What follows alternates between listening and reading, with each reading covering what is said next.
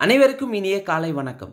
Olympia academy வழங்கும் இன்றைய வீடியோவில் நாம் பார்க்குள்ளது எட்டாம் வகுப்பு சமூக அறிவியல். புதிய புத்தகத்திலிருந்து அழகு ரெண்டு வர்த்தகத்திலிருந்து பேரரசு வரை என்ற பாடத்தில் இருக்கிற புக் பேக் கொஸ்டின்ஸும் அழகு மூன்று கிராம சமூகமும் வாழ்க்கை முறையும் என்ற பாடத்தில் இருக்கிற மிக மிக முக்கியமான வினாவிடைகளையும் பகுதி ஐந்திலிருந்து பார்க்க உள்ளோம் ஏற்கனவே நம்ம எட்டாம் வகுப்பு சமூக அறிவியல் புதிய புத்தகத்திலிருந்து பகுதி நான்கு வரை முதல் இரண்டு பாடங்களை பார்த்திருந்தோம். அந்த வீடியோஸை பார்க்காதவங்க டிஸ்கிரிப்ஷனில் அதற்கான லிங்க் தரப்பட்டுள்ளது. தேவையானவங்க பார்த்துக்காங்க.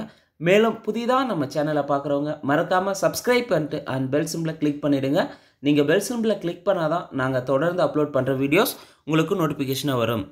முதல் கேள்வி ஆயிரத்தி எழுநூற்றி அறுபத்தி அஞ்சில் வங்காளம் பீகார் மற்றும் ஒரிசா ஆகிய பகுதிகளில் வரி வசூலிக்கும் உரிமையை பெற்றவர் யார்? ஆயிரத்தி எழுநூற்றி அறுபத்தி ஐந்தில் வங்காளம் பீகார் ஒரிசா ஆகிய பகுதிகளில் வரி வசூலிக்கும் உரிமையை பெற்றவர் யாருன்னு பார்த்தீங்கன்னா ராபர்ட் கிளைவ். ஆயிரத்தி எழுநூற்றி அறுபத்தைந்தில் வங்காளம் பீகார் மற்றும் ஒரிசா ஆகிய பகுதிகளில் ஓராண்டு திட்டத்தை நடைமுறைப்படுத்தியவர் தான் ராபர்ட் கிளைவ் அந்த வரி வசூலிக்க உரிமையை தான் பெற்றவர் தான் ராபர்ட் கிளைவ் அந்த திட்டத்தை தான் என்னன்னு சொல்கிறாங்கன்னா ஓராண்டு திட்டத்தை நடைமுறைப்படுத்தியவர். ஓராண்டு திட்டத்தை நடைமுறைப்படுத்தியவர் யார்? ராபர்ட் கிளைவ் ஓராண்டு நில வருவாய் திட்டத்தை ஐந்தாண்டு நில வருவாய் திட்டமாக மாற்றி பின்பு ஓராண்டு திட்டமாக மாற்றியவர் யாருன்னு பார்த்தீங்கன்னா வாரன் ஹேஸ்டிங்ஸ். அதே கொஸ்டின்ஸ் எப்படி கேட்கலான்னா ஓராண்டு நில வருவாய் திட்டத்தை ஐந்தாண்டு நில வருவாய் திட்டமாக மாற்றியவர் யாருனாலும் வாரன் ஹேஸ்டிங் தான். ஐந்தாண்டு திட்டத்தை ஓராண்டு திட்டமாக மாற்றியவரும் வாரன் ஹேஸ்டிங்ஸ் தான். கேள்வியை நல்லா புரிஞ்சுக்கோங்க. மிக மிக முக்கியமான பகுதிங்க. ஜிகே பகுதியிலேருந்து கண்டிப்பாக இந்த இப்போ கொஸ்டின் இதெல்லாம் கேட்கக்கூடியது ஏற்கனவே ப்ரீவியஸில் கேட்டிருக்காங்க. நல்லா பார்த்துக்காங்க. ஓராண்டு திட்டத்தை பத்தாண்டு திட்டமாக ஆயிரத்தி எழுநூற்றி தொண்ணூற்றி மூணில் மாற்றியவர் யார்? காரன் வாலிஸ் பிரபு. இந்த ஓராண்டு திட்டத்தை பத்தாண்டு திட்டமாக மாற்றியவர் தான் காரன் வாலிஸ் பிரபு. இந்த பத்தாண்டு திட்டம் தான் நிலையான நில வருவாய் திட்டம்னு சொல்லுவாங்க. அப்போ நிலையான நில வருவாய் திட்டத்தை கொண்டு வந்தவர் யார்? காரன் வாலிஸ் பிரபு. நிலையான நில வருவாய் திட்டம் எந்த ஆண்டு கொண்டு வரப்பட்டது? ஆயிரத்தி எழுநூற்றி தொண்ணூற்றி மூணில். இந்த பத்தாண்டு திட்டத்தின் மற்றொரு பெயர் தான் நிலையான நில வருவாய் திட்டம். ஓராண்டு திட்டத்தை ஐந்தாண்டு திட்டமாக ஐந்தாண்டு நில வருவாய் திட்டமாக மாற்றியவர் யாருன்னு பார்த்தீங்கன்னா வாரன் ஹேஸ்டிங்ஸ் அதே ஓராண்டு திட்டத்தை பத்தாண்டு திட்டமாக மாற்றியவர் யாருன்னு பார்த்தீங்கன்னா காரன் வாலிஸ் பிரபு. இந்த ஓராண்டு திட்டத்தை பத்தாண்டு திட்டன்றது தான் வந்து நிலையான நில வருவாய் திட்டம்னு சொல்லுவாங்க. அடுத்த கேள்வி பாருங்கள் ஆங்கில ஆட்சியின் கீழ் கொண்டு வரப்பட்ட நில வருவாய் திட்டங்கள் என்னென்ன? ஆங்கில ஆட்சியின் கீழ் கொண்டு வரப்பட்ட நில வருவாய் திட்டங்கள் ஒன்று நிலையான நில வருவாய் திட்டம் ஆயிரத்தி எழுநூற்றி தொண்ணூற்றி மூணு காரன் வாலிஸ் பிரபு கொண்டு வந்திருப்பார். ரைத்துவாரி முறையை கொண்டு வந்து தாமஸ் மன்ரோ மகள்வாரி முறையை கொண்டு வந்தவர் வில்லியம் பெண்டிங். ரைத்துவாரி முறையை கொண்டு வந்தவர் தாமஸ் மன்ரோ மகள்வாரி முறையை கொண்டு வந்தவர் வில்லியம் பெண்டிங். இந்த மூன்று நில வருவாய் திட்டங்களும் ரொம்ப ரொம்ப முக்கியமானது. இதிலிருந்து கொஸ்டின்ஸ் ப்ரீவியஸ் டிஎன்பிசியில் நீங்கள் எடுத்து பாருங்கள் கண்டிப்பாக இதிலேருந்து ஏதான ஒரு கேள்வி கேட்டிருப்பாங்க. நல்லா தெளிவாக பார்த்துக்கோங்க. நிலையான நில வருவாய் திட்டம். நிலையான நில வருவாய் திட்டனாவே ஆயிரத்தி எழுநூற்றி தொண்ணூற்றி மூணில் காரன் வாலிசு பிறப்பு கொண்டு வந்திருந்தார். இந்த நிலையான நில வருவாய் திட்டத்துக்கு இன்னொரு பேர் பத்தாண்டு திட்டம்னு சொல்லுவாங்க. நிலையான நில வருவாய் திட்டம் வங்காளம் பீகார் ஒரிசா உத்தரப்பிரதேசத்தில் வாரணாசி பகுதி மற்றும் வடக்கு கர்நாடகம் ஆகிய பகுதிகளில் கொண்டு வரப்பட்டது. நிலையான நில வருவாய் திட்டம் வங்காளம் பீகார் ஒரிசா உத்தரப்பிரதேசத்தில் வாரணாசி பகுதி வடக்கு கர்நாடகம் ஆகிய பகுதியில் கொண்டு வரப்பட்டது.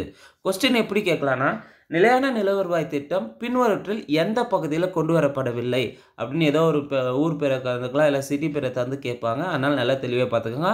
அதே போல் நிலையான நில வருவாய் திட்டம் எங்கெங்கே கொண்டு வரப்பட்டதுன்னா வங்காளம் பீகார் ஒரிசா உத்தரப்பிரதேசத்தில் வாரணாசி பகுதி வடக்கு கர்நாடகம் ஆகிய பகுதியில் கொண்டு வரப்பட்டது நிலையான நில வருவாய் திட்டம் ஆங்கில இந்தியாவின் மொத்த நிலப்பரப்பில் எவ்வளவு சதவீதம் நடைமுறைப்படுத்தப்பட்டிருந்தது? நிலையான நில வருவாய் திட்டம் பார்த்திங்கன்னா ஆங்கில இந்தியாவின் மொத்த நிலப்பரப்பில் பத்தொன்பது சதவீதம் வந்து நடைமுறைப்படுத்தியிருந்தாங்க.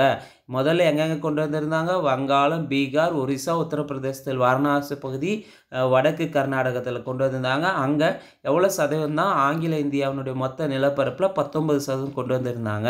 அடுத்த கேள்வி பாருங்கள் நிலையான நில வருவாய் திட்டத்தின் வேறு பெயர்கள். நிலையான நில வருவாய் திட்டத்தின் வேறு பெயர்கள் என்னன்னு பார்த்தீங்கன்னா ஜமீன்தாரி முறை ஜாகிர்தாரி முறை மல்குஜாரி பிஸ்வேதாரி அப்போ நிலையான நிலவருவாய் திட்டம்னு தரலனாலும் இங்கே பக்கத்தில் வேறு எதனா ஒரு பேர் தந்ததோ அது அது இந்த நான்கு பேரில் எதனா ஒன்று இருந்தால் அதுதான் சரி. ஜமீன்தாரி முறை ஜாகிர்தாரி முறை மல்குஜாரி பிஸ்வேஸ்தாரி நிலையான நிலவருவாய் திட்டத்தின் வேறு பெயர்கள் அல்லாதவன் கூட கேட்கலாம். கொஸ்டின்ஸ் கேள்வி எப்படினாலும் கேட்டாலும் அதற்கு பதிலளிக்கும் வகையில் தான் நம்ம வீடியோஸில் இருக்கிற நோட்ஸ் வந்து அவ்வளோ தெளிவாக லைன் பை லைனாக முக்கியமான வினாடிகளை எடுத்திருக்கு. முழுமையாக பாருங்கள் ஸ்கிப் பண்ணாமல் பாருங்கள் நிலையான நில வருவாய் திட்டத்தின் வேறு பெயர்கள் ஜமீன்தாரி ஜாகீர்தாரி மல்குஜாரி பிஸ்வேஸ்தாரி. அடுத்த கேள்வி நிலையான நில வருவாய் திட்டத்தின் சிறப்பு கூறுகள். நிலையான நில வருவாய் திட்டத்தின் சிறப்பு கூறுகள் பாருங்கள் இப்போ பார்த்தீங்கன்னா இந்த திட்டத்தின் மூலமாக ஆங்கில கிழக்கிந்திய கம்பெனிக்கு முறையாக வரி செலுத்தும் வரை ஜமீன்தார்கள் நில உடைமையாளர்களாக அங்கீகரிக்கப்பட்டனர். விவசாயிகளிடமிருந்து வரியை வசூல் செய்யும் அரசின் முகவர்களாக ஜமீன்தாரர்கள் செயல்பட்டனர். அடுத்து பார்த்தீங்கன்னா ஜமீன்தார்கள் வணிக குழுவிற்கு செலுத்தி வந்த வரி நிலையாக நிர்ணயிக்கப்பட்டு எந்த சூழ்நிலையிலும் உயர்த்தப்பட மாட்டாது என உறுதியளிக்கப்பட்டது. இதுதான் நிலையான நிலவரி திட்டத்தினுடைய முக்கிய சிறப்பம்சம் கூட சொல்லலாம். விவசாயிகளிடமிருந்து வசூலித்த பதினொன்றில் பத்து பங்கு வரியினை த ஜமீன்தார்கள் ஆங்கில அரசுக்கு செலுத்தினர். ஜமீன்தார்கள் விவசாயிகளுக்கு பட்டா வழங்கினர். அதாவது எழுதப்பட்ட ஒப்பந்தம் வழங்கினாங்க ஜமீன்தார்கள். இதன் மூலம் விவசாயிகள் அந்நிலத்தை உளும் காலம் வரை குத்தகைதாரர்களாக கருதப்பட்டனர். அனைத்து நீதித்துறை அதிகாரங்களும் ஜமீன்தார்களிடமிருந்து திரும்ப பெறப்பட்டது. அனைத்து நீதித்துறை அதிகாரங்களும் ஜமீன்தாரர்களிடமிருந்து திரும்ப பெறப்பட்டது. இது சிறப்பு அம்சங்கள். நிலையான நில வருவாய் திட்டத்தினுடைய சிறப்பு அம்சங்கள். அடுத்து நிலையான நில வருவாய் திட்டத்தினுடைய குறை நிறைகள் என்னன்னு பாருங்கள் தரிசு நிலங்கள் மற்றும் காடுகள் விவசாய நிலங்களாக மாற்றினாங்க. நிலையான நில வருவாய் திட்டத்தினுடைய நிறை பார்த்தீங்கன்னா ஒன்று தரிசு நிலம் காடுகள் விவசாய நிலங்களை மாற்றுறாங்க ஜமீன்தார்கள் நிலத்தின் உரிமையாளர் ஆனாங்க. நீதி வழங்கும் பொறுப்பிலிருந்து ஜமீன்தார்கள் விடுவிச்சாங்க. ஜமீன்தார்கள் ஆங்கில அரசுக்கு நம்பிக்கையுரியவர்களாக மாறினார்கள். ஆங்கில அரசுக்கு நிலையான வருவாய் கிடைப்பதை உறுதி செய்தது இந்த நிலையான நில வருவாய் திட்டம். அடுத்தது பாருங்க. நிலையான நிலவரி திட்டத்தினுடைய குறைகள் என்னன்னு பார்த்தீங்கன்னா ஆங்கில அரசு விவசாயிகளுடன் நேரடியாக தொடர்பு கொள்ளவில்லை. விவசாயிகளின் உரிமைகள் மறுக்கப்பட்டதோடு ஜமீன்தார்களின் பொறுப்பில் விடப்பட்டனர். விவசாயிகள் பெரும்பாலும் அடிமைகளாகவே நடத்தப்பட்டனர். இந்த திட்டத்தினால் ஜமீன்தார்கள் சோம்பேறிகளாகவும் ஆடம்பர பிரியர்களாகவும் மாறினர். வங்காளத்தின் பல கிராமப்புறங்களில் ஜமீன்தாரர்களும் விவசாயிகளுக்கும் இடையே பல மோதல்கள் ஏற்பட்டன. ஏன் வந்து ஒரு கொஸ்டினுடைய சில கொஸ்டின் டைரக்ட் கொஸ்டினாக இருக்கும். சில கொஸ்டின் டெப்த்தாக அதனுடைய முழுமையாக தந்ததுக்கான காரணம் group one level group two level group one level இந்த மூன்று லெவலுக்கு வேரியேஷன் தகுந்த மாதிரி தான் கொஸ்டின்ஸ் எடுப்பாங்க. அப்போ ஒரு வீடியோஸை படிக்கும் ஒரு நோட்ஸ் படிக்கும்போது குரூப் ஃபோர் லெவலுக்கு யூஸ் ஆகணும் குரூப் டூ லெவலுக்கு யூஸ் ஆகணும் குரூப் ஒன் லெவலுக்கு யூஸ் ஆகணும். சப்போஸ் நிலையான நிலவரவை திட்டத்தை பற்றி ஒரு கூற்று காரணியில் கேட்கலாம் இல்லை நான்கு ஆப்ஷன் வச்சு கேட்கலாம். அந்த நான்கு ஆப்ஷனில் ரெண்டு ஆப்ஷன் நமக்கு தெரிஞ்சாலே லாஸ் நமக்கு தான். அதனால் அந்த நான்கு ஆப்ஷனும் நமக்கு தெரியும் வகையில் தான் ஒவ்வொரு கேள்வி அமைச்சிருக்காங்க. அதனால் வீடியோ முழுமையாக பாருங்கள் எதனா க குறைகள் இருந்தால் மறக்காமல் கமெண்ட் பாக்ஸில் கமெண்ட் பண்ணுங்கள் அப்போ நிலையான நிலவரவாய் திட்டத்தை பற்றி எந்த கேள்வி கேட்டாலும் நீங்கள் வந்து எழுதும் வகையில் தான் வினாக்கள் வந்து வடிவமைக்கப்பட்டிருக்கு. நோட்ஸும் அந்த வகையில் வந்து ஸ்டாண்டர்டாக கொடுத்துட்ருக்கு. நல்லா தெளிவாக பார்த்துக்கோங்க கொஞ்சம் கொஞ்சம் டைம் இழுக்கலாமே தவிர மற்றபடி வந்து நோட்ஸ் வந்து நூறு சதவீதம் பயனளிக்கக்கூடியதாக தான் இருக்கும். அதே போல் இதில் இருக்கிறது எல்லாமே கொஸ்டின்ஸாக கேட்கறதுக்கான வாய்ப்புகள் இருக்குது கூற்று காரணியில் கேட்கலாம். அல்லது கூற்று ஒன் கூற்று ரெண்டு நான்கு கூற்று கேட்டு இதை நிலையான நிலவரவாய் திட்டத்தில் எது தவறானதுன்னு கூட கேட்கலாம். ஆக மிக மிக முக்கியமான டாபிக்ன்றதுனால இதை வந்து அவாய்ட் பண்ணாமல் எல்லா கேள்விகளும் இடம்பெற்றிருக்கும் நல்லா பார்த்துக்கோங்க. ரைத்துவாரி முறை ஆயிரத்தி எட்நூற்றி இருபதில் யாரால் அறிமுகப்படுத்தப்பட்டது? ரைத்துவாரி முறை வந்து பார்த்தீங்கன்னா மெயினாக ரெண்டு பேர் அறிமுகப்படுத்தியிருப்பாங்க. Thomas Munro captain Read.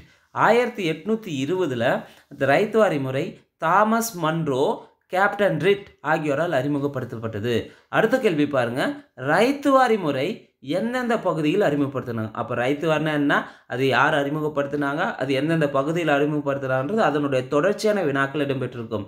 Ryotwari முறை ஆயிரத்தி எட்நூற்றி இருபதில் யாரால் அறிமுகப்படுத்தப்பட்டது? தாமஸ் மன்ரோ மற்றும் கேப்டன் ரிட். ரைத்துவாரி முறை எந்தெந்த பகுதிகளில் அறிமுகப்படுத்தப்பட்டது? ரைத்துவாரி முறை எந்தெந்த பகுதிகளில் அறிமுகப்படுத்தப்பட்டதுன்னா ஃபஸ்ட்டு ம அப்படியே மதராசு பம்பாய் அசாம் பகுதிகள் கூர்க். ரைத்துவாரி முறை எந்த பகுதியில் அமல்படுத்தப்படவில்லை? அப்படின்னு ஒரு கொஸ்டின் வச்சு கேட்கலாம். அப்போ இந்த மூன்று பகுதியும் தெ- நான்கு பகுதியும் தெரிஞ்சிருந்தால் மட்டும்தான் ஐந்தாவதாக ஐந்தாவது ஒரு ஆப்ஷன் தப்பாக வச்சுருக்காங்க அப்படின்னு தெரியும். அப்போ மதராஸ் பம்பாய் அசாம் பகுதிகள் கூர்க். ரைதாரி முறை எந்தெந்த பகுதியில் அறிமுகப்படுத்தினாங்க? மதராசு பம்பாயி அசாம் பகுதிகள் கூர்க் ஆகிய இடங்களில் வந்து ரைத்துவாரி முறை அறிமுகப்படுத்தப்பட்டது. யார் அறிமுகப்படுத்தினாங்க? தாமஸ் மன்றோ மற்றும் கேப்டன் ரீட். சில நேரங்களில் பல நேரங்களில் வந்து அந்த ரைத்து முறை கொண்டு வந்தவர் யாருன்னா தாமஸ் மன்றோர் மட்டும்தான் கொடுத்துருப்பாங்க. நல்லா தெளிவாக பார்த்துக்கோங்க. ரைத்துவாரி முறை மூலம் ரைத்துவாரி மூலம் நில வருவாயானது விளைச்சலில் பாதி என நிர்ணயிக்கப்பட்டது. ரைத்துவாரி முறை மூலம் பார்த்திங்கன்னா நில வருவாய் முதல்ல வந்து பாதின்னு நிர்ணயித்தாங்க. பின்னர் தாமஸ் மன்றோவால் தாமஸ் மன்றோவால் என்னாச்சுன்னா விளைச்சலில் மூணில் ஒரு பங்கு. விளைச்சலில் மூணில் ஒரு பங்காக வந்து குறைக்கப்பட்டது. பொதுவாக இருபது அல்லது முப்பது ஆண்டுகளுக்கு ஒரு முறை நிலத்தின் மீதான குத்தகை மாற்றியமைக்கப்பட்டது ரைத்துவாரி முறை மூலம் பார்த்தீங்கன்னா நில வருவாய் விளைச்சலை பாதின்னு வந்து தொடக்கத்தில் நிர்ணயிச்சாங்க. பிறகு பார்த்தீங்கன்னா தாமஸ் மன்றம் என்ன பண்ணுறாருன்னா விளைச்சலில் மூணில் ஒரு பங்கு வந்து வரியாக தந்தால் போதும்னு சொல்கிறாங்க அடுத்து ரைத்வாரி முறை என்பது இருபது அல்லது முப்பது ஆண்டுகளுக்கு ஒரு முறை நிலத்தின் மீதான குத்தகை மாற்றியமைக்கப்பட்டது அடுத்த கேள்வி ரைத்துவாரி முறையின் சிறப்பு கூறுகள் என்ன? ரைத்வாய் முறையின் சிறப்பு கூறுகள் வருவாய் ஒப்பந்தம் பார்த்திங்கன்னா நேரடியாக விவசாயிகளுடன் செய்து கொள்ளப்பட்டது. ரெண்டு நில அளவு மற்றும் விளைச்சலின் மதிப்பீடு கணக்கிடப்பட்டது. மூன்று அரசு விளைச்சலில் நாற்பத்தைந்திலிருந்து ஐம்பது சதவீதம் வரை வரியாக நிர்ணயம் செய்தது. இதுதான் ரைத்து வரி முறையின் சிறப்பு கூறுகள் வருவாய் ஒப்பந்தம் நேரடியாக விவசாயிகள் செஞ்சுக்கினாங்க. நில அளவு மற்றும் விளைச்சலில் மதிப்பீடு கணக்கிடப்பட்டது. அரசு விளைச்சலில் நாற்பத்தஞ்சிலிருந்து ஐம்பது சதவீதம் வரை வரியாக நிர்ணயம் செஞ்சாங்க. அடுத்த கேள்வி பாருங்க. மகள்வாரி முறை யாருடைய சிந்தனையில் உதித்தது? மகள்வாரி முறை யாருடைய சிந்தனையில் உதித்தது பார்த்தீங்கன்னா ஓல்ட் மெக்கன்சி. மகள்வாரி முறை யாருடைய சிந்தனையில் உதித்தது? ஓல்ட் மெக்கன்சி என்பவருடைய சிந்தனையில் உதித்தது. அடுத்த கேள்வி ரயத்துவாரி முறையால் ஏற்பட்ட விளைவுகள். ரயத்துவாரி முறையால் ஏற்பட்ட விளைவுகள் பெரும்பாலான பகுதிகளில் நில வருவாய் மிக அதிகமாக நிர்ணயித்தாங்க சிறப்பான பருவ காலங்கள் கூட விவசாயிகள் நிலவரி செலுத்துவதற்கு மிகவும் சிரமப்பட்டாங்க. அரசு ஜமீன்தாருக்கு பதிலாக விவசாயிகளை சொன்னாங்க ஜ ரைத்துவாரி முறையால் ஏற்பட்ட விளைவு என்ன? பெரும்பாலான பகுதியில் நிலவரவு அதிகமாக இருந்தது. ஆனால் சிறப்பான பருவ காலம் கூட விவசாயிகள் நிலவரி செலுத்துவதற்கு மிகவும் சிரமப்பட்டாங்க. அரசு பார்த்திங்கன்னா ஜமீன்தாருக்கு பதிலாக விவசாயிகளை சொன்னியது. இதுதான் ரைத்துவாரி முறையில் ஏற்பட்ட விளைவுகள். அடுத்த கேள்வி மகள்வாரி முறை. மகள்வாரி முறை எந்தெந்த பகுதிகளில் அறிமுகப்படுத்தப்பட்டது? மகள்வாரி முறை பார்த்திங்கன்னா ஆயிரத்தி எட்நூற்றி இருபத்தி ரெண்டில் ஆயிரத்தி எட்நூற்றி இருபத்தி ரெண்டில் கங்கை சமவெளி வடமேற்கு மாகாணங்கள் மத்திய வடமேற்கு மாகாணங்கள் மத்திய இந்தியாவின் சில பகுதிகள் மற்றும் பஞ்சாப் போன்ற பகுதிகளில் மகள்வாரி முறையை அறிமுகப்படுத்தினாங்க. மகள்வாரி முறை அறிமுகப்படுத்துறது வந்து பார்த்திங்கன்னா யார்? வில்லியம் பெண்டிங் பிரபு தான் மகள்வாரி முறையை அறிமுகப்படுத்துவார். எப்போன்னு பார்த்தீங்கன்னா எயிட்டீன் டுவெண்ட்டி டூவில் மகள்வாரி முறை எயிட்டீன் டுவெண்ட்டி டூவில் கங்கை சமவெளி வடமேற்கு மாகாணங்கள் மத்திய வடமேற்கு மாகாணம் மத்திய இந்தியாவின் சில பகுதிகள் மற்றும் பஞ்சாப் போன்ற பகுதிகளில் அறிமுகப்படுத்தப்பட்டது. யாருடைய வழிகாட்டுதலின்படி ஆயிரத்தி எட்நூற்றி முப்பத்தி மூணில் வில்லியம் பென்டிங் பிரபு மகள்வாரி முறையில் சில அடிப்படை மாற்றங்களை கொண்டு வந்தார். யாருடைய வழிகாட்டுதலின்படி ஆயிரத்தி எட்நூற்றி முப்பத்தி மூணில் வில்லியம் பென்டிங் பிரபு மகள்வாரி முறையில் சில அடிப்படை மாற்றங்களை கொண்டு வந்தார்னா ராபர்ட் மெர்தின்ஸ் முதல் முதல்ல பார்த்தீங்கன்னா மகள்வாரி முறை யாருடைய சிந்தனையில் உதித்ததுன்னா அந்த ரெண்டு கேள்விக்கு வித்தியாசம் பாருங்கள் மகள்வாரி முறை யாருடைய சிந்தனையில் உதித்ததுன்னா ஓல்ட் மெக்கன்சி. அதே யாருடைய வழிகாட்டுதலின்படி ஆயிரத்தி எட்நூற்றி முப்பத்தி மூணில் வில்லியம் பென்டிங் பிறகு மகள்வாரி முறையில் சில அடிப்படை மாற்றங்களை கொண்டு வந்தார்னா ராபர்ட் மெர்தின்ஸ் ராபர்ட் மெர்தின்ஸ் என்பவருடைய வழிகாட்டுதலின்படி தான் எயிட்டீன் தேர்ட்டி த்ரீல வில்லியம் பெண்டிங் பிரபு மகள்வாரி முறையில் சில அடிப்படை மாற்றங்களை கொண்டு வந்தார். அடுத்த கேள்வி மகள்வாரி முறைனா என்னங்க? மகள் அல்லது கிராம விளைச்சலின் அடிப்படையில் வருவாய் மதிப்பீடு செய்யப்பட்டது. மகள்வாரி முறை பார்த்திங்கன்னா மகள் அல்லது கிராம விளைச்சலின் மகள்னா என்ன? கிராம விளைச்சலின் அடிப்படையில் வருவாய் மதிப்பீடு செய்யப்பட்டது. அடுத்த கேள்வி மகள்வாரி முறை. மகள்வாரி முறை தொடக்கத்தில் மொத்த விளைச்சலில் மூணில் ரெண்டு பங்கு வந்து நில வருவாய் பங்காக வச்சுருந்தாங்க. தொட மகள்வாரி முறையில் பார்த்திங்கன்னா தொடக்கத்தில் மொத்த விளைச்சலில் மூன்றில் இரண்டு பங்கு நில வருவாய் வந்து அரசின் பங்காக நிர்ணயிக்கப்பட்டது. வில்லியம் பெண்டிங் பிறகு மொத்த விளைச்சலில் நில வருவாய் வந்து ஃபிஃப்டி பர்சன்ட்னு குறிச்சார். நில வில்லியம் பெண்டிங் பிறகு மொத்த விளைச்சலில் நில வருவாய் ஐம்பது சதவீதமாக குறைக்கிறாரு. நில வருவாயை கிராமம் முழுவதும் வசூல் செய்து அரசுக்கு செலுத்த ஒரு கிராம தலைவர் நியமிக்கப்பட்டார். அடுத்து இந்த முறை முதலில் ஆக்ரா அயோத்தி போன்ற இடங்களில் அமல்படுத்தப்பட்டது. இப்போ மகள்வாரி முறை முதல்ல எந்தெந்த இடங்களில் அமல்படுத்தினாங்க? மகள்வாரி முறை முக்கியமான கேள்வி மகள்வாரி முறை எந்தெந்த இடங்களில் அமல்படுத்தினாங்கன்னா முதல்ல ஆக்ரா அயோத்தியில் அமல்படுத்தினாங்க. பிறகு சக்ஸஸ் ஆன பிறகு ஐக்கிய மாகாணங்கள் பிற பகுதிகளுக்கு விரிவுபடுத்தினாங்க. அப்போது மகள்வாரி முறை முதன் முதல்ல எந்த பகுதியில் அமல்படுத்தினாங்க? ஆக்ரா அயோத்தி. பிறகுதான் ஐக்கிய மாகாணங்களின் பிற பகுதிகளுக்கு விரிவுபடுத்தப்பட்டது.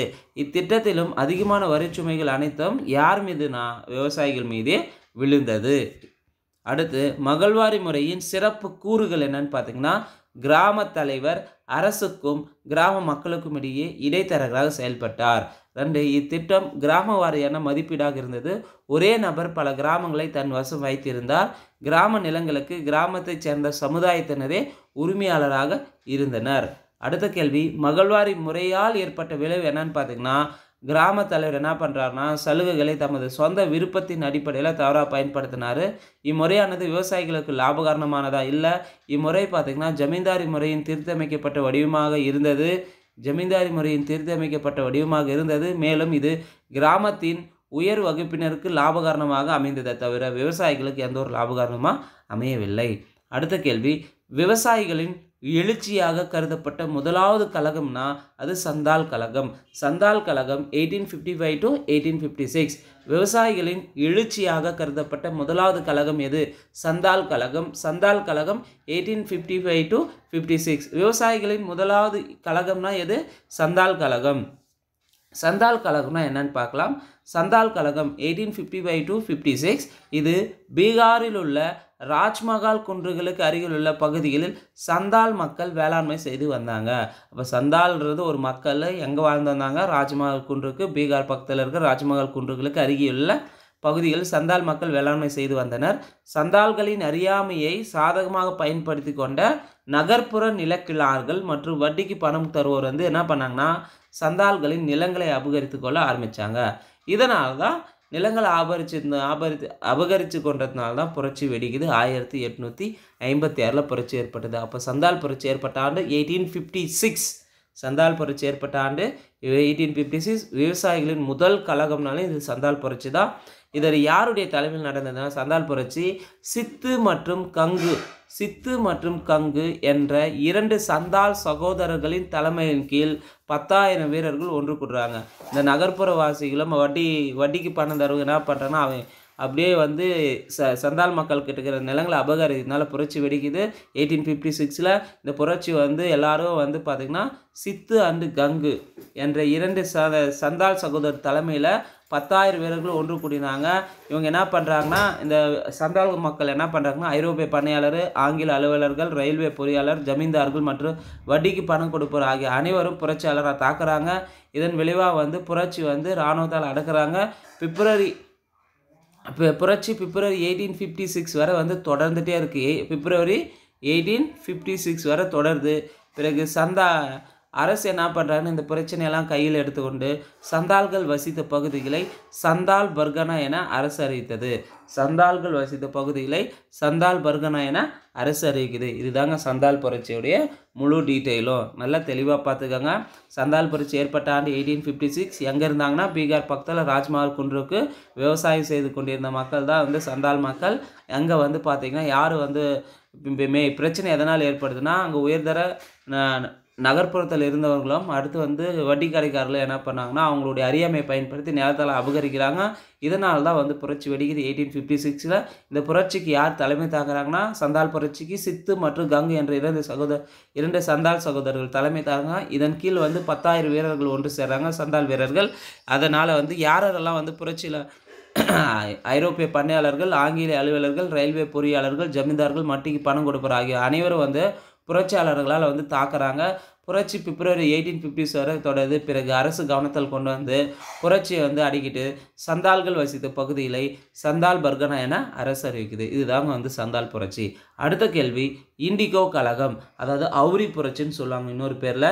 இண்டிகோ கழகம் eighteen fifty நைன்லேருந்து eighteen sixty six eighteen fifty nine to eighteen sixty இந்த வீடியோவில் அது இந்த குறிப்பாக இந்த டாபிக் பார்த்திங்கன்னா எல் இதில் இருக்கிற ஒவ்வொரு கொஸ்டினுமே ப்ரீவியஸ் டிஎன்பிசியில் குரூப் டூலையோ இல்லை குரூப் ஃபோர்லையோ குரூப் ஃபோர்லையோ கொஸ்டின்ஸ் கேட்டிருக்காங்க. அதனால் இந்த பா இந்த டாப்பிக்கை முழுமையாக பார்த்துக்கோங்க இண்டிகோ கழகம் அவுரி புரட்சின்னு சொல்லுவாங்க.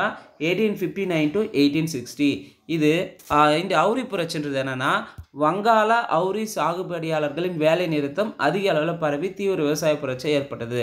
வங்காள அவுரி சாகுபடியாளர்களுடைய வேலை நிறுத்தம் தான் பெரிய அளவில் பரவி தீவிர விவசாய பிரச்சனை ஏற்பட்டது. இது இண்டிகோ கலம்னு சொல்லுவாங்க.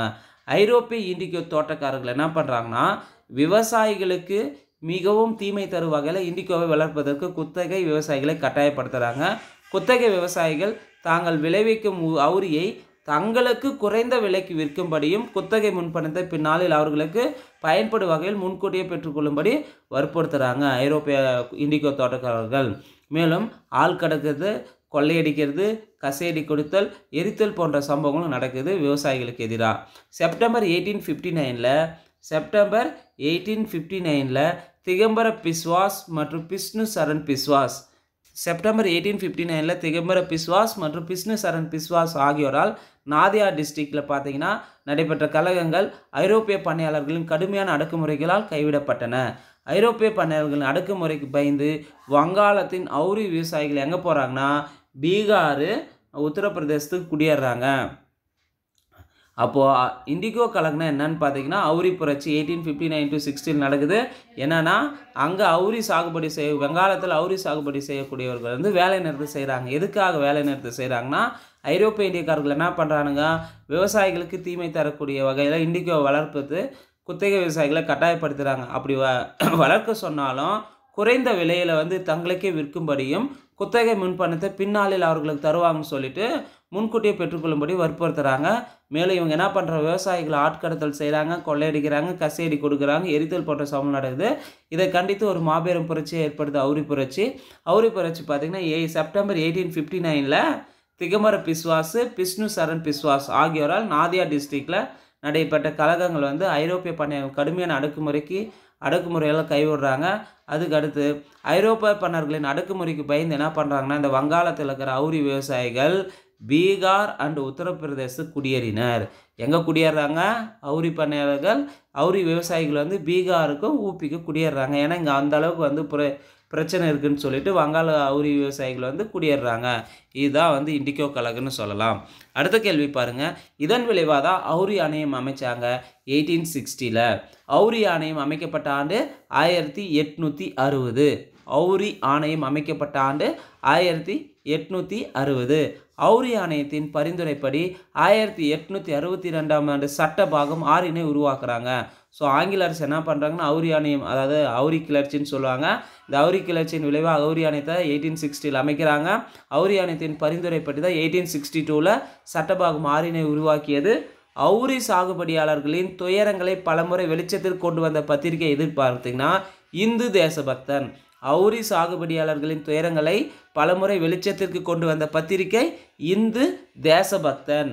வங்காள அவுரி சாகுபடியாளர்களின் துயரங்களை மக்கள் மற்றும் அரசின் கவனத்திற்கு கொண்டு வர நீல் தர்பன் என்ற நாடகத்தை எழுதியவர் யாருன்னு பார்த்தீங்கன்னா தீனபந்துரு மித்ரா. அப்போ அவுரி புரட்சியின் தொடர்பாக வந்து அவுரி ஆணையம் வந்து ஏற்படுத்துகிறாங்க எயிட்டீன் சிக்ஸ்டியில் இந்த அவுரி ஆணையத்தின் பரிந்துரைப்படி எயிட்டீன் சிக்ஸ்டி டூவில் சட்டபாகம் ஆறினை உருவாக்குனாங்க. அவுரி சாகுபடியாளர்களின் துயரங்களை பலமுறை வெளிச்சத்திற்கு கொண்டு வந்த பத்திரிகை இந்து தேசபக்தன் வங்காள அவுரி சாகுபடியாளர்களின் துயரங்களை மக்கள் மற்றும் அரசின் கவனத்திற்கு கொண்டு வர நீல் தர்பன் என்ற நாடகத்தை எழுதந்து யாருன்னு பார்த்தீங்கன்னா தீனபந்துரு மித்ரா. இது எல்லாமே அவுரி அவுரி விவசாயிகளுடைய போராட்டத்தினுடைய ஒரு தொடர்ச்சி தான் ஸோ அவுரி விவசாயம் அல்லது இண்டிகோ கழகம் இது ரெண்டுத்துலேருந்து எப்படி கே கொஸ்டின் கேட்டாலும் நம்ம ஆன்சர் பண்ணுங்க. அந்த அளவுக்கு நோட்ஸ் தெளிவாக இருக்குது நல்லா தெளிவாக படிங்க. ஒன் ஆர் டூ டைம்ஸ் நல்லா ரீட் பண்ணி பார்த்துட்டு அதில் இருக்குமான முக்கியமான பாயிண்ட்ஸை எழுதி பாருங்கள் அடுத்து பாருங்கள் பாப்னா கழகம். பாப்னா கழகம் பார்த்தீங்கன்னா ஆயிரத்தி எட்நூற்றி எழுபத்தி மூணுலேருந்து ஆயிரத்தி எட்நூற்றி எழுபத்தி ஆறு வரை நடந்தது பாப்னா கழகம். பாப்னா கழகத்தை பற்றி தெளிவாக பார்க்கலாம். பாப்னா விவசாய எழுச்சி என்பது விவசாயிகளால் நடத்தப்பட்ட ஜமீன்தார்களின் அடக்குமுறைக்கு எதிரான ஒரு இயக்கம் தான் பாப்னா விவசாய எழுச்சின்றது என்னென்னா விவசாயிகள் தான் நடத்துகிறாங்க யாருக்கு எதிரானனா ஜமீன்தார்களின் அடக்குமுறைக்கு எதிரான இயக்கம். இவை வங்காளத்தில் பாப்னாவில் உள்ள யூசப் சாகி பர்கனாவில் கேசப் சந்திரசாய் என்பவரால் ஆரம்பிக்கப்பட்டது. அப்போ பாப்னா கழகம் யாரால் ஆரம்பிக்கப்பட்டதுன்னா கேசப் சந்திரசாய் என்பவரால் ஆரம்பிக்கப்பட்டது.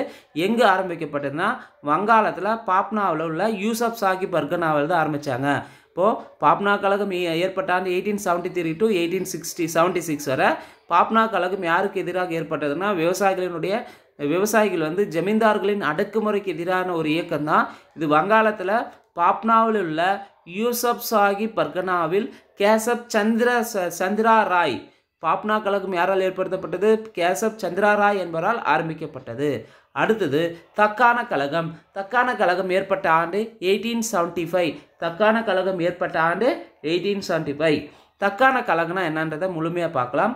பூனா மாவட்டத்தில் உள்ள விவசாயிகள் ஒரு கழகத்தில் ஈடுபடுறாங்க. பூனா டிஸ்ட்ரிக்டில் வந்து பார்த்திங்கன்னா விவசாயிகள் வந்து புனே டிஸ்ட்ரிக்டில் விவசாயிகள் ஒரு கழகத்தில் ஈடுபடுறாங்க. இதை தான் தக்கான கழகம் எயிட்டீன் செவன்ட்டி ஃபைவ்னு சொல்லலாம். அப்பகுதி விவசாயிகள் ஆரம்பத்தில் தொடர்ந்து தங்கள் நிலங்களை நிலங்களை அபர் அபகரித்து கொண்டிருந்த உள்ளூர் வட்டிக்காரர்களின் அடக்குமுறையை எதிர்த்து தான் புரட்சி செய்தாங்க. பொதுவாகவே அன்றைய காலகட்டத்தில் வட்டி கொடுப்போர் நகரத்தில் இருக்கிறவங்க நல்ல வசதியாக இருக்கிறவங்கெல்லாம் வந்து விவசாயிக்கிட்ட இருக்கிற நகத்தை நகன்ற பாருங்க. நிலங்களெல்லாம் அபகரித்தாங்க அதுதான் மிகப்பெரிய ஒரு புரட்சிக்கு ஒரு முக்கிய காரணமாக இருந்தது.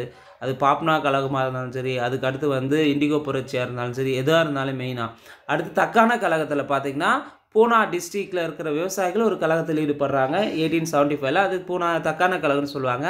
எதுக்காக இந்த தக்கான கழகம் ஏற்பட்டதுன்னா விவசாயிகள் ஆரம்பத்தில் தொடர்ந்து தங்கள் நிலங்களை யாருக்கிட்ட அபகரிச்சிருந்தாங்க? உள்ளூர் வட்டிக்காரர்களின் அடக்குமுறைக்கு எதிர்த்து தான் பூனா மாவட்டத்தின் ஒரு கிராமத்தில் ஒரு வட்டிக்காரர்களுடைய சொத்துக்கள் எல்லாம் கைப்பற்றி அவரை அந்த கிராமத்திலிருந்து வெளியேற்றி பொழுதாக புரட்சி தொடங்குது. இந்த தக்கான கலக்கு என்ன ஆகுதுன்னா பூனா டிஸ்ட்ரிக்டில் தொடர்ந்து இந்த உள்ளூர் வட்டிக்காரனெல்லாம் வந்து பார்த்திங்கன்னா நிலத்தை அபகரித்து தொடர்ந்து வந்து அட்டுளை பண்ணுறாங்க அதை எடுத்து உடனே அங்கே இருக்கிற ஒரு பூனா டிஸ்ட்ரிக்டில் ஒரு கிராமத்தில் வட்டிக்காரனுடைய சொத்து மொத்தத்தையும் வந்து விவசாயிகள் அபகரிக்கிறாங்க. அப்போ அந்த விவசாயத்தை அபகரித்து கிராமத்தை விட்டு வெளியேற்றுறாங்க. அதில் தான் பூனா புரட்சி. சரி தக்கான கழகம் தொடங்குது. இந்த புரட்சி பார்த்திங்கன்னா முப்பத்தி மூணு கிராமங்களுக்கு வேகமாக பரவிடுது. உடனே இந்த அங்கே ஒரு கிராமத்துலேருந்து துரத்துனா பார்த்து அவன் போய் போலீஸ் நிலையத்தில் வந்து இது மாதிரி என்னை வந்து பூனாவில் இருக்கிற விவசாயிகளெல்லாம் என்னை அடித்து என்னுடைய சொத்தெல்லாம் பிடுங்கிட்டாங்க அப்படின்னு அனுப்புகிறான் உடனே அங்கேருந்து போலீஸுக்கு போகிறதுனால போலீஸ் வந்து இராணுவத்தை குவிக்குது. அங்கே இராணுவம் வந்து வரவழைக்கிறாங்க. அப்புறம் புரட்சி கட்டுப்படுத்தப்படுது. புரட்சி பார்த்திங்கன்னா எத்தனை கிராமங்களுக்கு பரவுது? முப்பத்தி மூணு கிராமங்களுக்கு பரவுது. விவசாயிகள் மார்வாரி சகுகார்களின் சொத்துக்களை கொள்ளையடித்தனர். யார் வந்து விவசாயிகள் யாருடைய சொத்துக்களை கொள்ளையினா மார்வாரி சகுகார்களின் சொத்துக்களை கொள்ளையடித்தனர். கொள்ளையடிக்கிறாங்க. பிறகு வந்து இராணுவம் வரவழைக்கப்பட்டு புரட்சி கட்டுப்படுத்தப்பட்டது. புரட்சியின் விளைவாக தக்கான விவசாயிகள் மீட்பு சட்டம் நிறைவேற்றப்பட்டது. புரட்சியின் விளைவாக தக்கான விவசாயிகள் மீட்பு சட்டம் வந்து நிறைவேற்றினாங்க. இந்த தக்கான விலகத்து தக்கான கழகம் எயிட்டீன் செவன்ட்டி ஃபைவ் அதன் விளைவாக வந்து தக்கான விவசாயிகள் மீட்பு சட்டம் நிறைவேற்றப்பட்டது. அடுத்த கேள்வி பஞ்சாப் விவசாயிகள் இயக்கம். பஞ்சாப் விவசாயிகள் இயக்கம் எயிட்டீன் நைன்டி டூ ஆயிரத்தி தொள்ளாயிரம். பஞ்சாய பஞ்சாப் விவசாயிகள் சங்கம் ஆயிரத்தி எட்நூற்றி தொண்ணூறுலேருந்து ஆயிரத்தி தொள்ளாயிரம் வரை. நகர்ப்புற வட்டிக்காரர்களிடம் கடனை பெற்று கடனை திருப்பி செலுத்த தவறிய விவசாயிகள் தங்கள் நிலத்தின் மீது வட்டி கடைக்காரர்கள் மேற்கொண்ட ஒடுக்குமுறைகளை விரைந்து தடுக்கும் பொருட்டு தான் பஞ்சாப் விவசாயிகள் புரட்சியில் ஈடுபட்டாங்க. இங்கேயும் வந்து எதனால் புரட்சி ஏற்படுதுன்னா வட்டி கடைக்காரர்கள் வந்து நகர்ப்புற வட்டி கடைக்காரர்கள் கடனை தராங்க. அந்த கடனை வந்து திருப்பி செலுத்த முடியல தர தவறிய விவசாயிகள் என்ன பண்ணுறனா தங்களுடைய நிலத்தின் மீது வட்டிக்கடைகள் மேற்கொண்ட ஒடுக்குமுறைகளை விரைந்து தடுக்கும் பொருட்டு தான் பஞ்சாப் விவசாயிகள் புரட்சியில் ஈடுபடுறாங்க. பஞ்சாப் மக்கள் வந்து விவசாயிகள் வந்து சட்ட அங்கீகாரம் பெற்ற விவசாயிகள் வட்டி கடைக்காரர்கள் உட்பட இதர மக்கள் என்று மூன்று வகையாக பிரிக்கிறாங்க. அதாவது இந்த புரட்சினால் என்ன பண்ணுறாங்கன்னா அரசு மூணாக பிரிக்கிறாங்க. ஒன்று பஞ்சாப் மக்கள் விவசாயி சட்ட அங்கீகாரம் பெற்ற விவசாயி வட்டி கடைக்காரர்கள் என உட்பட்ட பிரிச்சுக்கிறாங்க. இந்த மூன்று பேருக்குள்ளே வந்து பொருட்களை வாங்கிக்கணும் பொருட்களை வந்து இது பண்ணிக்கணும் அப்படின்னு ஒன்று தீர்மானத்தை கொண்டு வராங்க. இந்த பஞ்சாப் விவசாயிகளுடைய இயக்கத்தின் சார்பாக புரட்சியின் விளைவு என்ன ஆகுதுன்னா பஞ்சாப் நில உரிமை மாற்று சட்டம் நிறைவேற்றப்படுறது. அந்த பஞ்சாப் நில உரிமை மாற்று சட்டம் நிறைவேற்றப்பட்ட ஆண்டு ஆயிரத்தி தொள்ளாயிரம். பஞ்சாப் நில உரிமை மாற்று சட்டம் நிறைவேற்றப்பட்ட ஆண்டு ஆயிரத்தி தொள்ளாயிரம். அடுத்ததான் நம்ம பார்க்க போகிறது முக்கியமான ஒரு இயக்க ஒரு சத்தியாகிரகம் சம்பரான் சத்தியாகிரகம். சம்பரான் சத்தியாகிரகம் ஆயிரத்தி தொள்ளாயிரத்தி பதினேழு பதினெட்டு. சம்பரான் சத்தியாகிரகம் ரொம்ப ரொம்ப முக்கியமானது. இதை பற்றி ஏற்கனவே தொடர்ந்து கேட்டிருக்காங்க. அதான் இந்த லெசனை நான் முதல்ல சொன்ன மாதிரி தான் இந்த லெசனில் குறிப்பாக இருக்கிற எல்லா டாப்புமே ரொம்ப ரொம்ப முக்கியமானது. அதனால டெப்த்தாக பார்த்துட்ருக்கு பாருங்கள் முழுமையாக பார்த்துக்கோங்க. சம்பரான் சத்தியாகிரகம் ஆயிரத்தி தொள்ளாயிரத்தி பதினேழு பதினெட்டு. இந்த சம்பரான்றது பீகார் மாநிலத்தில் இருக்க சம்பரான் என்ற இடத்துல ஐரோப்பிய பண்ணையாளர்கள் சட்டத்திற்கு புறம்பான மற்றும் மனிதத்தன்மையற்ற முறைகளில் மிகவும் நியாயம் மிகவும் நியாயமற்ற விலைக்கு அவுரி சாகுபடியை செய்கிறாங்க பீகார் ஸ்டேட்டில் சம்பரான் என்ற இடத்துல என்ன பண்ணுறாங்கன்னா ஐரோப்பிய பண்ணையாளர்கள் வந்து சட்டத்திற்கு புறம்பாக மனித தன்மையற்ற முறையில் மிகவும் நியாயமற்ற விலைக்கு அவுரி சாகுபடியை செய்கிறாங்க சம்பரான் இந்திய விவசாயிகள் என்னென்னா அவுரி சாகுபடியாளர்கள் தங்களது மொத்த நிலத்தில் சாகுபடி செய்து அதனையும் ஐரோப்பிய தோட்டக்காரர்களுக்கு அவர்கள் நிர்ணயித்த விலைக்கே சம்பரான் தீன்கந்தியா என்ற நடைமுறையின் கீழ் பிணைக்கப்பட்டிருந்தார்கள். அப்போ ஐரோப்பிய சாகுபடி ஐரோப்பிய பண்ணையாளர்கள் தான் மெயினாக வந்து இந்த சம்பரான் சத்தியாகிரகத்துக்கு முக்கிய காரணமாக இருக்காங்க. ஏன்னா அவுரி சாகுபடி செய்வர்கள் வந்து அதை வந்து குறைந்த விலைக்கு தான் வாங்கியிருந்தாங்க ஐரோப்பிய பண்ணையாளர்கள் அதுவும் வந்து சாகுபடி மொத்தத்தையும் சாகுபடி செஞ்சு தங்களுக்கே தரணும்னு சொல்லிட்டு சம்பரான் தீன் கதியா என்ற நடைமுறையின் கீழ் பிணைக்கப்பட்டிருந்தார்கள். ஐரோப்பிய பணியாளர்களால் சட்டவிரோத பணம் பறிப்பு மற்றும் அடக்குமுறை போன்ற நிகழ்வுகளுக்கு அந்த பீகார் விவசாயிகள் ஆளாகினார்கள். இந்த விவசாயிகளின் பிரச்சனை அறிந்து கொண்ட மகாத்மா காந்தி அவர்களுக்கு உதவ முன் வந்தார். இப்போ தான் மகாத்மா காந்தி வராரு. சம்பரான் சத்தியாகிரகத்தில். அப்போ தான் மகாத்மா காந்தி இந்த பிரச்சனைலாம் தெரிந்து உடனே மகாத்மா காந்தி அவர்கள் உதவ வராரு. அரசு இதெல்லாம் அறிந்த வந்து இது பெரு பெரிய போராட்டமாக நடக்குது. உடனே அரசு ஒரு விசாரணை குழு அமைக்கிறாங்க. அந்த விசாரணை குழுவில் மகாத்மா காந்தியிலும் அக்குழுவில் ஒரு உறுப்பினராக சேர்க்குறாங்க. அப்போ சம்பரான் சத்தியாகிரகத்தில் விசாரணைக்காக ஒரு குழுவில் வந்து மகாத்மா காந்தியும் ஒரு உறுப்பினராக சேர்த்தாங்க இதன் விளைவாக தான் சம்பரான் விவசாய சட்டம் நிறைவேற்றுறாங்க. ஆயிரத்தி தொள்ளாயிரத்தி பதினெட்டு மேல. அடுத்த கேள்வி பாருங்கள் சம்பரான் விவசாய சட்டம் நிறைவேற்றப்பட்ட ஆண்டு ஆயிரத்தி தொள்ளாயிரத்தி பதினெட்டு மேலே. சம்பரான் விவசாய சட்டம் நிறைவேற்றப்பட்ட ஆண்டு ஆயிரத்தி தொள்ளாயிரத்தி பதினெட்டு மேலே நிறைவேற்றுறாங்க. அடுத்து கேதா சத்தியாகிரகம் அல்லது கைரா சத்தியாகிரகம்னு சொல்லுவாங்க. கேடா சத்தியாகிரகம் ஆயிரத்தி தொள்ளாயிரத்தி பதினெட்டு. கேடா சத்தியாகிரகம் ஆயிரத்தி தொள்ளாயிரத்தி பதினெட்டு. சம்பரான் சத்தியாகிரகம் ஆயிரத்தி தொள்ளாயிரத்தி பதினேழு பதினெட்டு பதினெட்டில் தான் முடிஞ்சிருக்கு. சம்பரான் விவசாய சட்டம் ஆயிரத்தி தொள்ளாயிரத்தி பதினெட்டு மேலே ஏற்றிருப்பாங்க.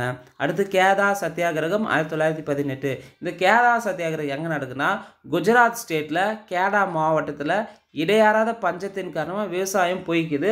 அதனால் நிலவரி முழுவதையும் செலுத்த விவசாயிகள் வந்து அரசு வந்து அறிவுறுத்துகிறாங்க கேடா மாவட்டத்தில் உள்ளூர் விவசாயிகள் வரிகொடா இயக்கத்தை தொடங்குறாங்க. இதன் விளைவாக இவ்வியக்கத்திற்கு காந்தி வந்து தலைமை தந்தார் அப்போ எந்த சத்தியாகிரகத்திற்கு காந்தி தலைமை தாங்கினார்னு கேட்பாங்க. கேடா சத்தியாகிரகம் ஏற்கனவே இந்த கொஸ்டின் கேட்டிருக்காங்க. நல்லா தெளிவாக பார்த்துக்கோங்க. கேடா சத்தியருக்கு என்னன்னா குஜராத்தில் கேடா டிஸ்ட்ரிக்டில் வந்து விவசாயிகள் வந்து என்ன பண்ணால் அந்த இடத்துல நிறைய பஞ்சம் ஏற்படுது. அந்த பஞ்சத்தின் காரணமாக வந்து விவசாயம் போய்க்கிறது. அப்படியே போயிச்சாலும் கவர்மெண்ட்டுக்கு வந்து நீங்கள் டேக்ஸ் கட்டி ஆகணும் நிலவரி செலுத்தி முழுமையும் செலுத்தணும்னு சொல்கிறாங்க இதனால் கேடா மாவட்டத்தில் உள்ள உள்ளூர் விவசாயிகள் வரிகொடா இயக்கத்தை ஆரம்பிக்கினாங்க. இந்த இயக்கத்துக்கு காந்தி தான் தலைமை தாங்கினார். பஞ்சத்தின் நிலைகளை அரசுக்கு எடுத்து கூறி முழு பலத்துடன் சத்தியாக சத்தியாகிரக முறையில் போராடும்படி காந்திஜி என்ன சொல்கிறாருன்னா விவசாயிகளை ஆயத்தப்படுத்தினார்.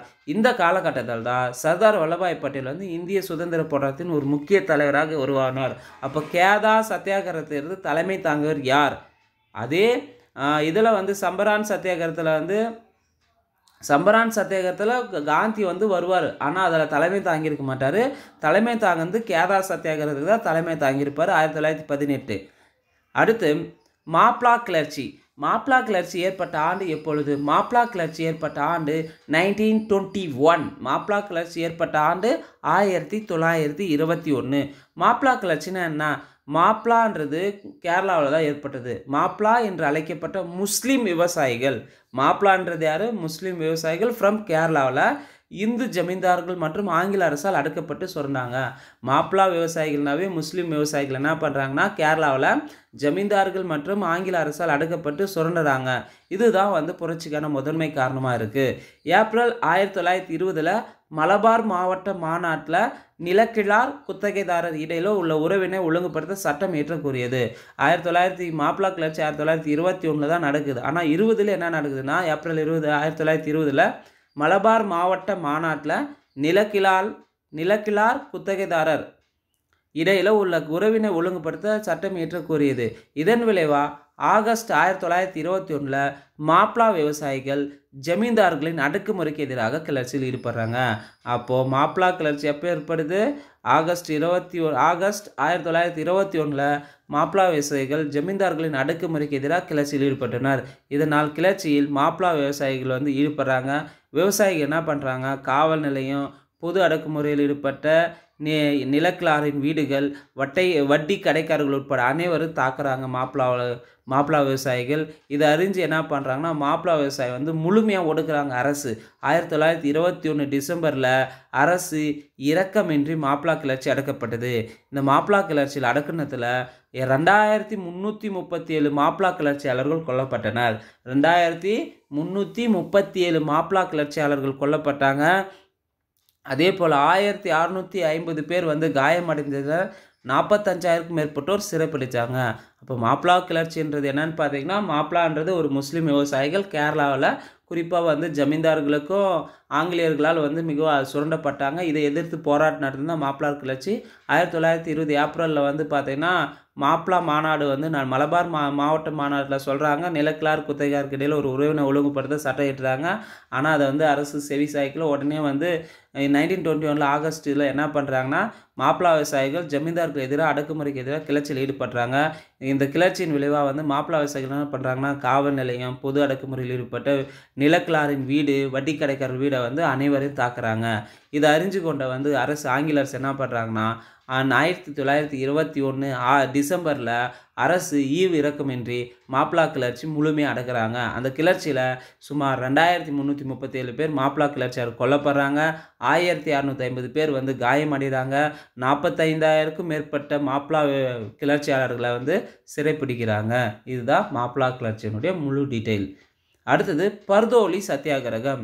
பர்தோலி சத்தியாகிரகம் ஆயிரத்தி தொள்ளாயிரத்தி இருபது டு ஆயிரத்தி தொள்ளாயிரத்தி முப்பது வரை நடக்குது. பர்தோலி சத்தியாகிரகம் அந்த கேதா சத்தியாகிரகத்துக்கு தலைமை தாங்குது யாருன்னு பார்த்தீங்கன்னா மகாத்மா காந்தி. பர்தோலி சத்தியாகிரகத்துக்கு தலைமை தாங்குது யாருன்னா சர்தார் வல்லபாய் பட்டேல். பர்தோலி சத்தியாகிரகம் ஆயிரத்தி தொள்ளாயிரத்தி இருபது டு ஆயிரத்தி தொள்ளாயிரத்தி முப்பதுன்னு சொல்லலாம். ஆயிரத்தி தொள்ளாயிரத்தி இருபத்தெட்டில் முப்பது சதவீதம் அளவிற்கு அரசு நில வருவாயை உயர்த்தினாங்க. நைன்டீன் டுவெண்ட்டி எயிட்டில் தேர்ட்டி பர்சன்ட் அளவுக்கு நில வருவாயை உயர்த்துறாங்க. அதனால் பர்தோலி குஜராத் விவசாயிகள். இதுவும் வந்தாலே எங்கே இருக்குன்னு இப்போ எந்த ஸ்டேட்னா குஜராத் விவசாயிகள் தான் பர்தோலி குஜராத் விவசாயிகள் சர்தார் வல்லபாய் பட்டேல் தலைமையில் தங்களது எதிர்ப்பு தெரிவிக்கிறாங்க. அப்போ பர்தோலி சத்தியாகிரகத்துக்கு தலைமை தாங்கந்து சர்தார் வல்லபாய் பட்டேல். அதே கேதா ச சத்தியாகிரகத்துக்கு தலைமை தாங்கந்து மகாத்மா காந்தி. ரெண்டுத்துக்கான வேரியேஷன் நல்லா தெரிஞ்சுக்கோங்க. இங்கே வந்து பர்தோலின்றது குஜராத் ஸ்டேட்டில் இருக்கிற விவசாயிகள் தான் சர்தார் வல்லபாய் பட்டேல் தலைமையில் த த- தங்கள் எதிர்ப்பை தெரிவிக்காங்க ஏன்னா ஏன்னா நைன்டீன் டுவெண்ட்டி டுவெண்ட்டி எயிட்டில் வந்து தேர்ட்டி பர்சன்ட் அளவுக்கு நில வருவாயை வந்து உயர்த்துறாங்க. விவசாயிகள் உயர்த்தப்பட்ட நில வருவாயை செ நிலவரியை செலுத்த மறுத்து தெரிவித்து பிப்ரவரி பன்னெண்டு ஆயிரத்தி தொள்ளாயிரத்தி இருபத்தி எட்டில் வரிகுடை இயக்கத்தை தொடங்குறாங்க. விவசாயிகள் உயர்த்தப்பட்ட நிலவரியை செலுத்த மறுத்து மறுப்பு தெரிவித்து பிப்ரவரி பன்னெண்டு நைன்டீன் டுவெண்ட்டி எயிட்டில் வரிகுடா இயக்கத்தை தொடங்கினார். இதில் பல பெண்களும் கலந்து கொள்கிறாங்க ஆயிரத்தி தொள்ளாயிரத்தி முப்பதில் பர்தோலியில் வரி செலுத்த மறுப்பு தெரிவித்த விவசாயிகள் தங்கள் நிலங்களை குறைந்த ஏலத்தில் விற்று இழப்பதற்கு தயாராக இருந்தாலும் நிலத்தை அரசுக்கு தர த மறுக்கிறாங்க. ஆயிரத்தி தொள்ளாயிரத்தி முப்பதில் வந்து பார்த்திங்கன்னா பர்தோலியில் வரி செலுத்த மறுத்து மறுப்பு தெரிவித்த விவசாயிகள் பார்த்தீங்கன்னா தங்களுடைய நிலங்களை குறைந்த ஏலத்தில் விற்று இழப்பதற்கு தயாராக இருந்தால் கூட கவர்மெண்ட்டுக்கு ஆங்கில கவர்மெண்ட்டுக்கு தர மறுத்துடுறாங்க. ஆனால் என்ன பண்ணுறாங்கன்னா ஆங்கில அரசு அவர்கள் நிலத்தை கையகப்படுத்தி செய்து ஏலத்தில் விற்றது. பிறகு என்ன பண்ணுறாங்க ஆயிரத்தி தொள்ளாயிரத்தி முப்பத்தி ஏழில் காங்கிரஸ் ஆட்சிக்கு வந்த பொழுது விவசாயிகளுடைய நிலம் அனைத்தும் அவர்களுக்கே திருப்பி தரப்பட்டது. அப்போ பர்தோலி இயக்கம் தலைமை தாங்குது யார்? சர்தார் வல்லபாய் பட்டேல். இதுவும் வந்து குஜராத்தில் இருக்க பர்தோலி மாவட்டத்தில் இருக்க விவசாயிகள் வந்து வரி அதிகமாக செலுத்துகிறாங்கன்னு சொல்லிட்டு வரிகொடா இயக்கத்தை தொடங்குகிறாங்க அதன் விளைவாக தான் பிப்ரவரி இப்போ பிப்ரவரி பன்னெண்டு ஆயிரத்தி தொள்ளாயிரத்தி இருபத்தி எட்டில் வரிகொடா இயக்கத்தை ஸ்டார்ட் பண்ணுறாங்க இதில் கலந்துக்கிறாங்க. இது தொடர்ச்சியாக பிரச்சி புரட்சி புரட்சி நடக்குது. ஆயிரத்தி தொள்ளாயிரத்தி முப்பதில் தான் பர்தோலி சத்தியாகிரகனாவே ஆயிரத்தி தொள்ளாயிரத்தி முப்பது வரி செலுத்த மறுத்த மறுப்பு தெரிவித்த விவசாயிகள் வந்து தங்களுடைய நிலங்களை வந்து ஏலத்தின் முறையில் குறைந்த விலைக்கு விற்றா கூட விற்க தயாராக இருந்தால் கூட கவர்மெண்ட் அதாவது பிரிட்டிஷ் கவர்மெண்ட் தரமாட்டேன்னு அப்படின்னு மறுக்கிறாங்க. ஆனால் பிரிட்டிஷ் கவர்மெண்ட்டு அந்த நிலத்தை ஏலத்தில் விற்று சேல் பண்ணிடுறாங்க. உடனே இதற்கு அடுத்து வந்து ஆயிரத்தி தொள்ளாயிரத்தி முப்பத்தி ஏழில் கவர்மெண்ட்டை வந்து காங்கிரஸ் ஆட்சிக்கு வந்தபோது அந்த விவசாயிகளுடைய நிலத்தை வந்து அவர்களுக்கே திருப்பி தரப்பட்டது. இதுதான் வந்து பர்தோலி சத்தியாகிரகத்தினுடைய விளைவுகள். அடுத்து அடுத்த கேள்வி பாருங்க. ஜாகிர்தாரி மல்குவாரி மல்குஜாரி பிஸ்வேஸ்தாரி ஜமீன்தாரி போன்ற பல்வேறு பெயர்களால் அழைக்கப்படும் நிலவரி முறை எதுன்னு பார்த்தீங்கன்னா நிலையான நிலவரி திட்டம். எந்த கவர்னர் ஜெனரலின் காலத்தில் வங்காளத்தில் நிரந்தர நிலவரி திட்டம் செய்து கொள்ளப்பட்டது? காரன் வாலிஸ் பிரபு மகள்வாரி முறையில் மகள் என்றால் என்ன? கிராமம். மகள்வாரி முறையை அறிமுகப்படுத்தியவர் வில்லியம் பெண்டிக் பிரபு. இண்டிகோ அதாவது அவுரி கிளர்ச்சியில் யாரால் தலைமையேற்று நடத்தப்பட்டது? இண்டிகோ கிளர்ச்சினாவே திகம்பர் பிஸ்வாஸ் மற்றும் பிஸ்னு பிஸ்வாஸ் தலைமையில் நடத்தப்பட்டது. பர்தோலி சத்தியாகிரகம் யார் தலைமையில் நடத்தப்பட்டது? பர்தோலி சத்தியாகிரகம் சர்தார் வல்லபாய் பட்டேல் தலைமையில் நடத்தப்பட்டது.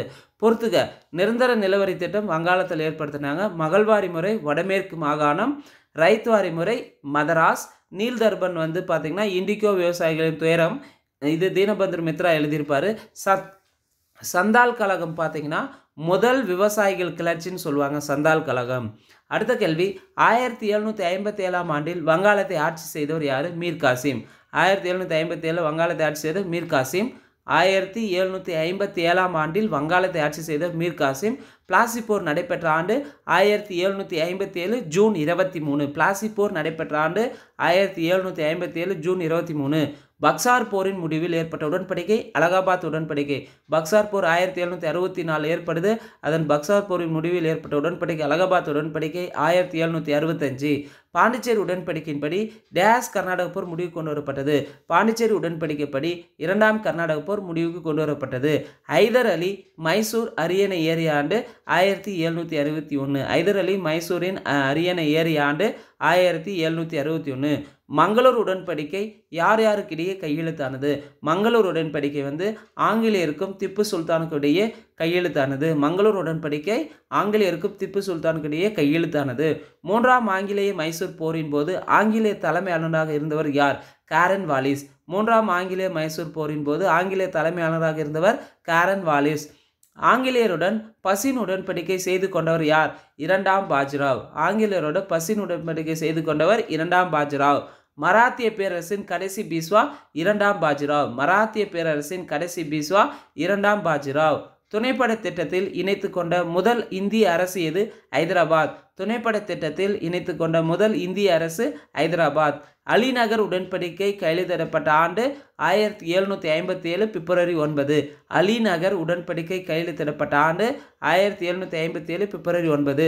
சிராஜ் உத்தல்லாவின் தலைமை படைத்தளபதியாக இருந்தவர் தான் மீர் ஜாபர். சிராஜ் உத்தல்லாவின் படைத்த தலைமை படைத்தளபதியாக இருந்தவர் மீர் ஜாபர்.